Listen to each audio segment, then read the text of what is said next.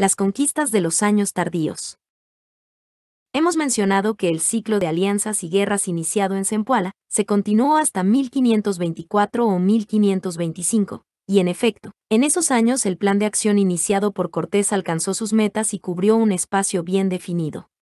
El resultado fue la ocupación total, con excepción de Yucatán, de la parte de Mesoamérica por la que los españoles se habían desplazado, esto es, una franja cuyo frente se extendía desde Tabasco hasta Pánuco, y por detrás llegaba al Océano Pacífico desde Guatemala hasta Zacatula con un apéndice en Colima. Tal espacio abarcaba no solo la mayor parte del imperio de la Triple Alianza, sino los territorios de muchos señoríos otrora independientes. Además, incorporaba dentro de la esfera de Cortés a las provincias invadidas torpemente por Francisco de Garay en 1523. Era un buen pedazo del continente, lo suficientemente grande, rico, culto, complejo y bien articulado como para fundar un nuevo imperio. El embrión de Nueva España estaba ya, íntegro y completo. Inserto en este conjunto, pero no del todo incorporado a él, Michoacán constituía un caso muy especial que examinaremos más adelante. Para entonces los españoles ya tenían una imagen razonablemente completa del mundo mesoamericano, aunque desde luego no lo llamaban así. Su importancia era tal que daba lugar a una categoría aparte. Desde España las más altas autoridades se interesaron por estar al tanto de lo que allí hacían los conquistadores, y más que nada por controlarlos. Desde luego, los intereses de muchos españoles estaban puestos en México y sus alrededores. Cortés tenía planes de expansión, pero con tantos ojos puestos sobre él perdió libertad de acción y se puso a la defensiva. Símbolo de este cambio en el contexto de la conquista fue su célebre expedición a Honduras, o, como se decía entonces, las Cibueras. En 1524, sintiéndose todavía poseedor de un impulso imparable, dispuso que uno de sus capitanes ocupara esa región y lo envió por mar. Tal decisión era bastante exótica, pues Honduras era ajena al entorno mexicano y difícilmente podía contribuir a fortalecer la posición de Cortés, pero él, seguramente se formó una idea equivocada.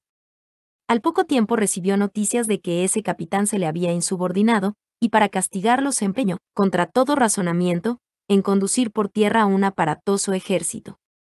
La larga marcha resultó en un total desastre y además fue inútil.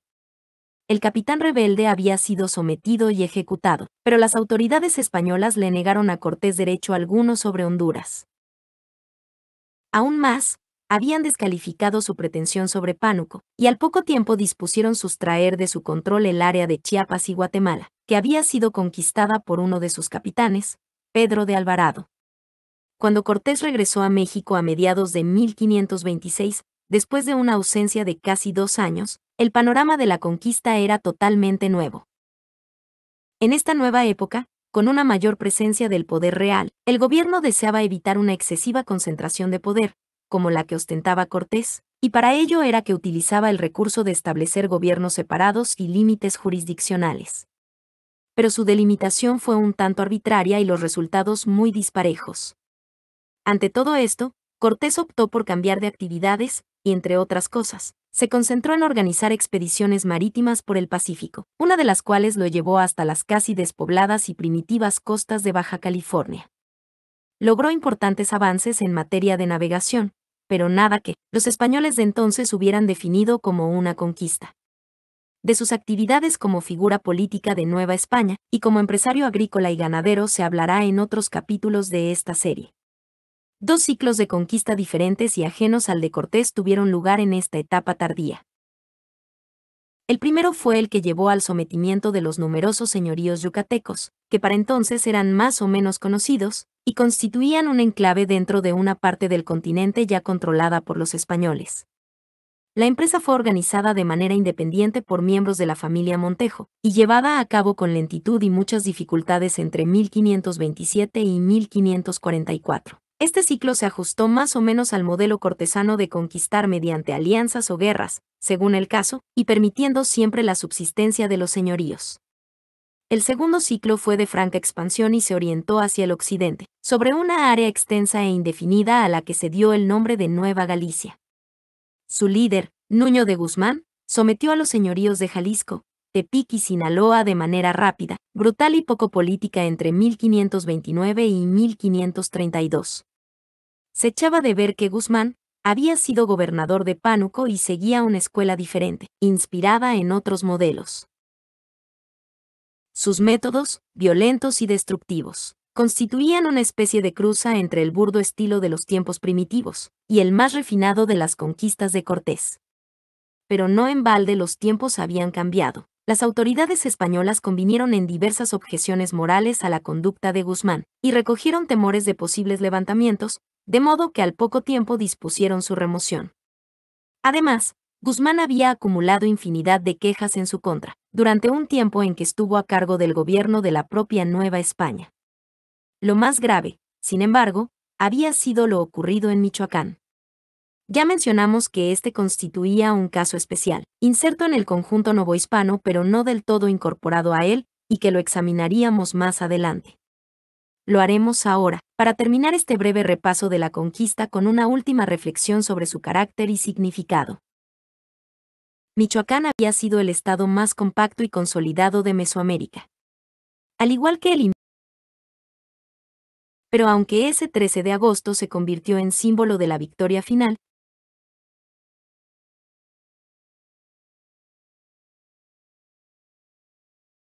Michoacán había sido el estado más compacto y consolidado de Mesoamérica. Al igual que el imperio de la Triple Alianza se había constituido sobre la base de señoríos particulares, pero a diferencia de este, que los mantenía básicamente como tributarios autónomos, los tenía más integrados y amarrados con firmeza a la soberanía del rey Ocasonzi. Los españoles no emprendieron conquistas particulares en Michoacán, sino que sometieron de conjunto a todo el reino mediante lo que podría definirse como una ocupación militar, haciendo poco uso de las armas de manera directa pero ejerciendo una gran presión. El sometimiento del reino operó, cabe decir, de arriba hacia abajo, a partir de que los españoles impusieron al Casonzi, sin sicha, el reconocimiento a la corona de Castilla pero sin desplazarlo como señor de otros señores. Michoacán carecía del aura imperial de México, y eso obró en ventaja suya porque los conquistadores le dieron menos importancia. Sin sin embargo, no pudo o no supo formalizar adecuadamente este arreglo tan singular, que convertía a Michoacán en una especie de protectorado tributario. Cortés, al parecer, se contentó con mantener ese estado de cosas que, después de todo, respondía bien a su modelo de conquista, que en última instancia descansaba en la subsistencia de los señoríos y sus estructuras de poder, de gobierno y de tributo. Esta situación especial se mantuvo hasta que Nuño de Guzmán, movido en parte por su codicia y en parte por su falta de sentido político, hizo asesinar a Tzintzilcha. Las turbulencias que tal acto ocasionó desestabilizaron no solo a Michoacán sino a todo el incipiente sistema colonial. Como Guzmán diera a entender que quería apropiarse de la conquista de Michoacán e incorporarlo a Nueva Galicia, sus opositores hallaron oportuno disponer la plena anexión del reino a Nueva España. De ese modo llegó a su fin la situación especial en que Michoacán se había mantenido hasta ese momento. Usualmente se considera que la conquista implicó una ruptura con el pasado, lo que indudablemente es cierto. Pero esa ruptura no fue tan radical como pudiera parecer a primera vista. Más bien debemos decir que la conquista absorbió en gran medida a ese pasado.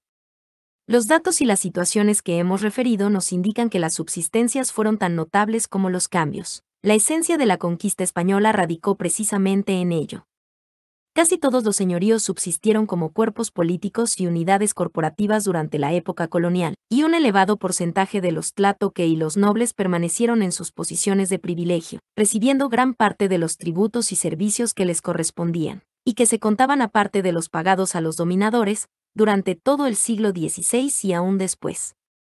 La posición relativa de la gente ordinaria dentro de los señoríos tampoco se alteró, no, al menos, durante décadas. En otro lugar se analizarán los cambios que ocurrieron, que fueron muy profundos, pero para apreciar su verdadera dimensión conviene tener presentes las continuidades.